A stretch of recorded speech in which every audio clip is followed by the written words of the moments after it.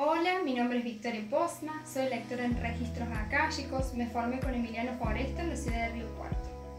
Bueno, los registros akáshicos es la memoria universal del alma, o como nosotros lo llamamos, el libro del alma. Cuando hacemos una apertura de registros, leemos toda la transición del alma hasta el día de hoy. También podemos ver eh, cómo murió esa alma, con quién se relacionó, qué sintió, qué vivió emocionalmente esa alma, pero lo más importante que vemos es el propósito del alma. Muchos nos encontramos en algún momento de nuestra vida preguntándonos cuál es la misión de nuestra vida, qué vamos a hacer en esta vida, qué vinimos o para qué vinimos. Eh, por lo general estas preguntas surgen entre los 18 y 25 años cuando nosotros estamos en el camino de la elección a una carrera profesional. Propia, yo empecé con todo mi camino espiritual a los 18 años. Empecé primero con decodificación biológica, que es una eh, terapia muy sanadora, pero sentía que mi alma necesitaba algo más. Entonces fui por una lectura de registros. Me encontré con Emi, que fue quien me leyó mis registros por primera vez.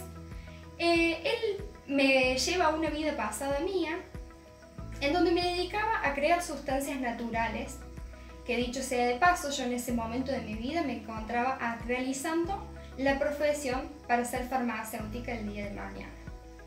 Después de esa hermosa experiencia de sanación, me empecé a encontrar un poco más con mi alma, con el propósito de mi alma, que realmente yo sentí que ya no venía a formar una profesión o una carrera universitaria en una universidad, sino que venía a algo más. Entonces fue ahí cuando yo decidí formarme en nivel 1 y nivel 2 de registros akáshicos, donde más allá de beneficiarme a mí y sanarme a mí misma, sanaba también a otras personas o ayudaba en su proceso de sanación.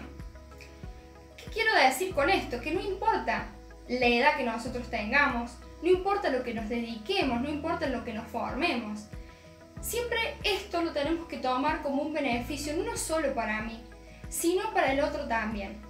Entonces, teniendo en cuenta que si encontramos nuestra misión de vida, va a ser inerte lo que nos dediquemos.